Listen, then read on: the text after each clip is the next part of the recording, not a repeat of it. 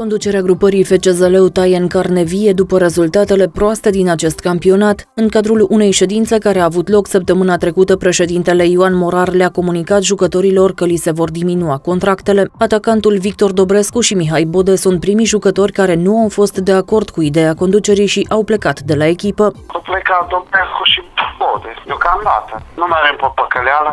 Îmi pare rău de colectiv, de, sau îmi pare rău că nu n-a fost o chestie care să continue și că au fost lucrurile de așa natură încât uh, cam toată lumea a vrut să plece de acolo.